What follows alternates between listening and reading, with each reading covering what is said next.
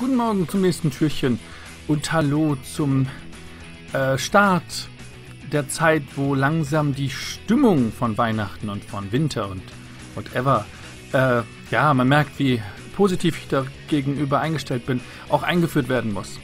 Ob es nun in einem Bereich wie Schule oder beim Arzt oder bei einer Präsentation beim Orion Shop eingeführt wird ab sofort, dass wir, dass es um Geschenke geht, um, um, um Liebe. Ach Leute, ich habe keine Ahnung mehr. Ich, ähm, es hat nicht damit zu tun, dass ich negativ bin, aber ich versuche, ich versuche jetzt die weihnachtliche Stimmung anzunehmen. Auch wenn es ein bisschen mit Gewalt und mit, mit Druck eingeführt wird bei mir.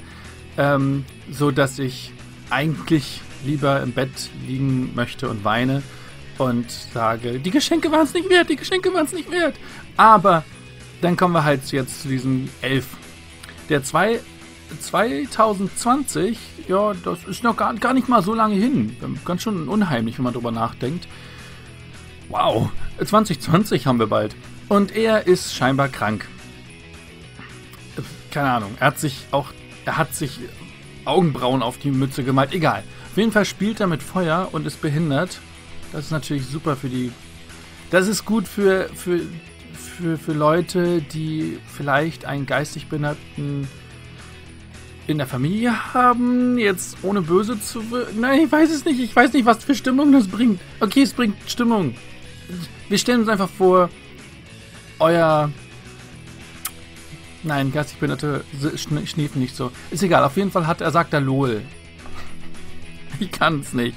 Ich kann es nicht. Er sagt LOL, Feuerzeug, äh, äh, nicht Feuerzeuge. Seht ihr?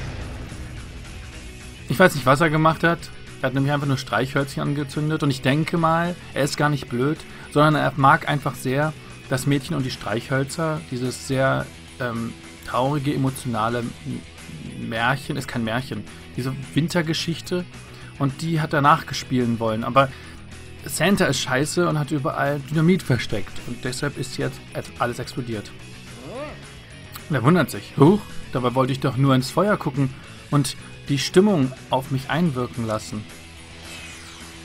Aber alle Geschenke fliegen weg. Natürlich, die gehen nicht kaputt, weil die Verpackung ist feuerfest, explosionsfest. Warum verpacken die eigentlich noch Geschenke, wenn das die Elfen machen? Und sind die Elfen nicht eigentlich Sklaven? Egal. Äh, nein, oh, gute Stimmung. Die Musik macht es nicht besser. Auf jeden Fall fliegen jetzt alle nach oben in die Luft. Und, äh, oh, Santa ist böse. Ne?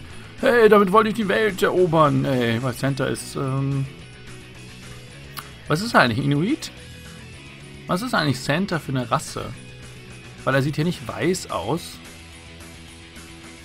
Ja, eher asiatisch. Oder irgendwas im Osten? Nee, ein bisschen asiatisch. Scheinbar ist Santa irgendwas Chinesisches oder sowas. Und dann sagt der Elf halt, meine magischen Streichhölzer haben die, äh, die Geschenke ärgerlich gemacht. Und sagt, ah, du bist ein... Er äh, sagt, ah, hm, du kleines Idiotenkind, warum habe ich auch mit meiner Schwester geschlafen? So. Und wir spielen nach langer Zeit jetzt äh, Rocket Center 2. Und ich sage euch jetzt schon mal, das müsst ihr selbst spielen, denn es ist wahrscheinlich, also wenn ich es richtig gesehen habe, ein Upgrade-Spiel. Und Upgrade-Spiele sind so spaßig. Und vor meiner Tür redet die ganze Zeit jemand. Und äh, wenn ihr das hören könnt, dann interessant. Äh, ich kann es nicht hören, weil die Musik jetzt weggeht. Jetzt kannst du hören. Egal. Oh mein Gott, ich brauche irgendwas Schneemäßiges. Ich, äh, morgen, das nächste Türchen, mache ich irgendwas richtig Passendes zu Weihnachten. Okay, also richtig schön. Jetzt spielen wir Rocket Center, weil Center scheinbar tief fallen kann, wenn die Rocket. Auf jeden Fall, diese Spiele gibt es so viel auf dem Handy. Aber wenn ihr, wenn ihr es nicht online spielen wollt, auf dem Handy. Es sind Upgrade-Spiele. Ihr fliegt nicht weit, äh, sammelt Sachen ein, baut, macht euch stärker. Es ist wie ein Rollenspiel in Hö Hochkommen. Und das ist nicht unbedingt mein Lieblings-Upgrade-Spiele, weil ich relativ schnell gelangweilt werde, aber andere Upgrade-Spiele mag, liebe ich. Upgrade-Spiele sind toll.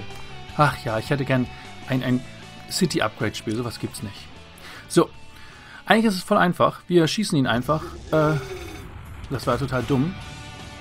Wir schießen ihn nach oben und dürfen einmal einen Boost äh, nehmen. Und deshalb spiele ich es nicht gerne. Immer dieses Runterfallen nervt ein bisschen. Und ihr habt gesehen, rechts. Ja, ja.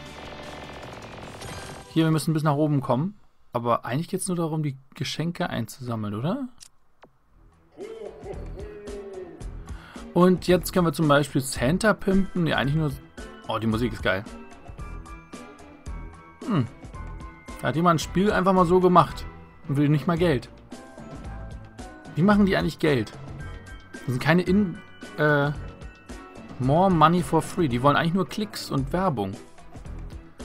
Flash-Games sind besser als äh, Handy-Games. Handy-Games sind scheiße. Handy-Games sind wirklich vom Teufel gemacht. Okay, Faust packen ein bisschen jetzt gerade. War jetzt nicht so ab, ab war nicht so äh, äh, gedacht. Aber egal. Santa und Canon. Wir können zum Beispiel hier. Wir haben nicht genug Geld. Aber wir können Helm und Canon upgraden. Oder das mehr, äh, mehr, mehr, mehr, mehr, mehr, mehr, mehr, mehr, mehr Fuel. Die Musik ist so toll. Entschuldigung, ich kann jetzt einmal nicht mehr. Lass uns ein bisschen, lass uns ein bisschen genießen, die tolle Musik. Ich liebe Remixes. Ah, es hört sich so an wie ein guter Nachfolger von Kevin Line zu Hause.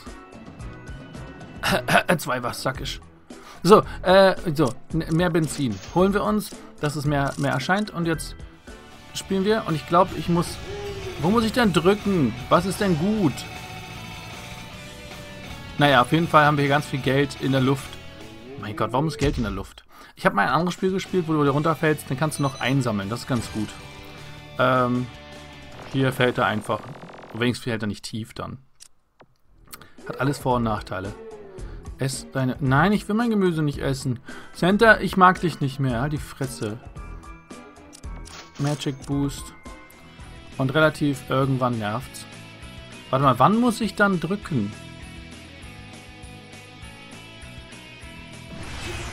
Ah, perfekt, wenn es oben ist, okay.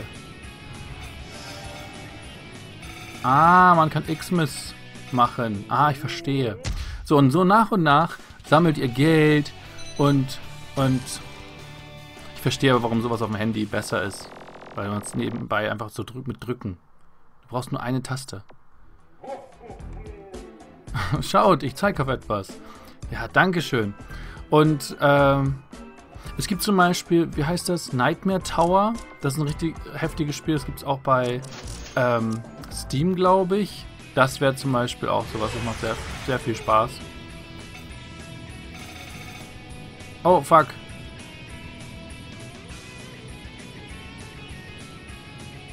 Ja, ich habe euch nicht gelostet. What the fuck war das?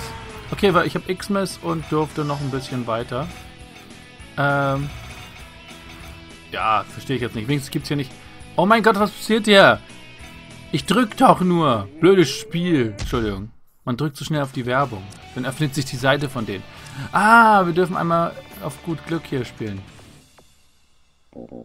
Natürlich. Wirklich? Wie viel Pech kann ich haben? Das gibt mir nicht die Stimmung auf eine gute Zeit, wenn er furzt. Leute, was mache ich? Okay. Gibt aber sehr viel hier.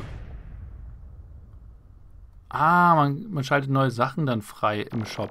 Das ist, hat sehr viele tolle, coole Sachen und Rudolph sieht sehr, sehr gefährlich aus. Ich habe Angst. Aber ich existiere gar nicht. Trollolol. Ja, aber ich habe immer noch nicht genug Geld. Aber man, ihr seht, man kann ziemlich viel machen. Ich will jetzt nochmal ein Upgrade kaufen. So. Ist das eigentlich eine... Äh, was heißt das? Das? Ist das eine kleine... Wow. Ist es eine Kritik daran, dass Weihnachten eigentlich nur... Dass es nur um Geld geht? Vielleicht. Du hast gefurzt. Er hat gefragt, so, wer hat gefurzt? Du. Okay. Äh, Speed oder Center Speed? Oder am Anfang den Speed. Ach, so viel Speed. Ich weiß gar nicht, ob ich das alles äh, schlucken kann. Wir machen mal die zu besser. Ich weiß gar nicht, wann man drücken soll. Ich drück doch nirgends hin! Wo ist bitte die Werbung? Seht ihr, wo ich hinklicke? Ja, ihr seht's. Ich habe angemacht, dass man sieht, wo ich, wo ich meine Maus habe. Das ist nicht und das hättest du noch einsammeln können. Die Stimmung wird nicht besser. Ich drücke gar nicht darauf. Ja, ja, Rudolf. Ja, und das ist auch nicht mehr lustig jetzt. Könnt mich alle mal. Alle doof. Dann hole ich mir mehr Tokens. Jetzt, dann muss Weihnachten halt ausfallen. Das tut mir jetzt auch ein bisschen leid für euch, aber das habt ihr euch selbst zuzuschreiben.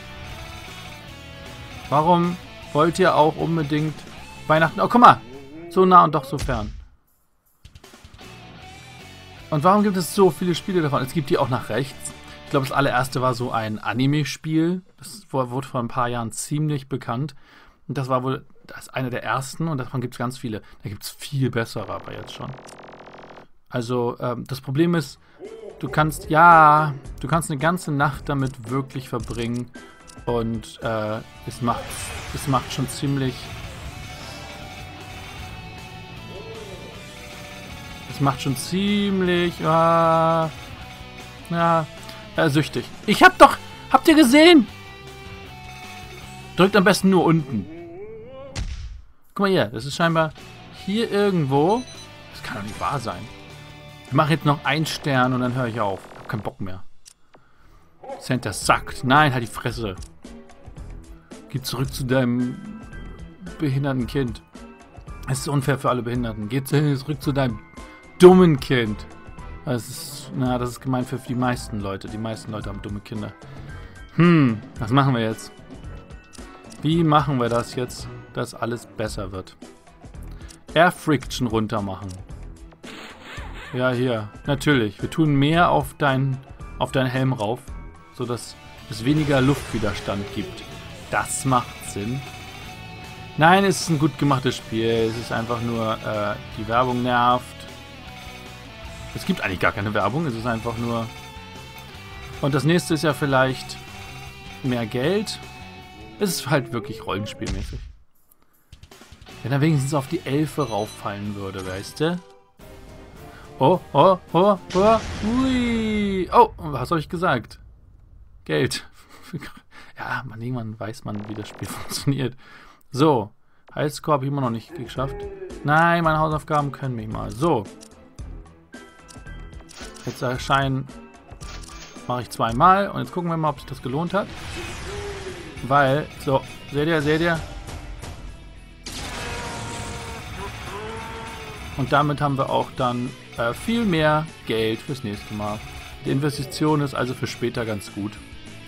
Wirklich spielen? Nee, nee, ich habe nicht... Okay, okay, ganz weit unten bleiben. Oh, sowas, sowas ist für mich wirklich auch äh, bei anderen Spielen ein Grund, nicht weiterzuspielen. Wenn irgendwas so sehr nervt. Frage des, des Türchens. Welches Spiel wollt, findet ihr eigentlich ganz gut, habt ihr aber aufgehört, weil ihr einfach frustriert wart. Durch irgendeine Sache. Es kann am PC sein, kann eine Konsole sein, am Handy, ist vollkommen egal. Kann sogar ein Brettspiel sein. Habt ihr irgendein Spiel, das ihr einfach so nervtötend, also eine Sache so nervtötend fandet, dass ihr nicht weitergemacht habt?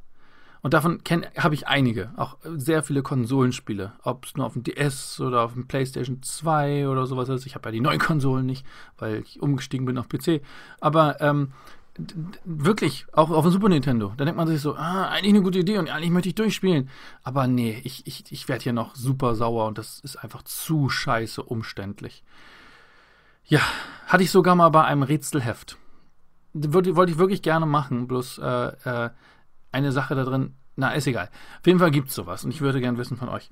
Ja, tut mir leid, die Stimmung ist im Arsch. Ähm, wie auch Santa, gutes Endbild. Santa ist tot, weil er einfach versucht hat, den Himmel zu erreichen. Tja, Icarus. Da hast du wohl nicht drüber nachgedacht und äh, bist jetzt ertrunken. Überlegt mal, Icarus ist irgendwo, das Skelett von Icarus ist irgendwo auf dem Meeresboden. Wenn man darüber nachdenkt, dass, sagen wir mal, die Skelette naja, irgendwann werden Skelette zu Öl, ne, aber es dauert ganz schön lang. Und die werden bedeckt. Aber wenn man überlegt, wie viele damals auf See gestorben sind, da ist irgendwo unten ganz tief im, im Meer Oder unterm Sand, da wo du badest, sind Skelette von Menschen, die ertrunken sind. Mit diesen wunderschönen Gedanken zur Weihnachtszeit verlasse ich euch heute ähm, in den Tag. Habt einen schönen Tag. Und wenn euch irgendwas richtig frustriert, richtig stört, durchatmen und sagen, Bitch, das muss jetzt nicht sein. Also das, das, das habe ich jetzt echt nicht nötig. Und dann geht ihr einfach weg. Bis morgen. Ciao.